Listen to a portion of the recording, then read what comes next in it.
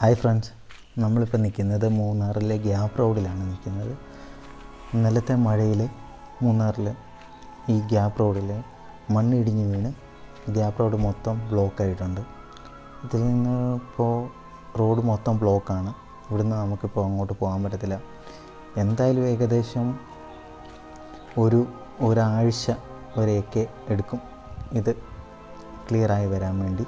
കാരണം വലിയ വലിയ പാറകളാണ് ഈ റോഡിലോട്ട് വന്നിരിക്കുന്നത്. എന്റെ ക്ലിയർ മീൻസ് എല്ലാം ചെയ്യാൻ വേണ്ടി ശ്രമിച്ചുകൊണ്ടിരിക്കുകയാണ്. പക്ഷേ ഭയങ്കര ഹെവി ആയിട്ടുള്ള മഴ ചെയ് പെയ്തുകൊണ്ടിരിക്കുന്നതിനാൽ നടക്കുന്നില്ല. ഓക്കെ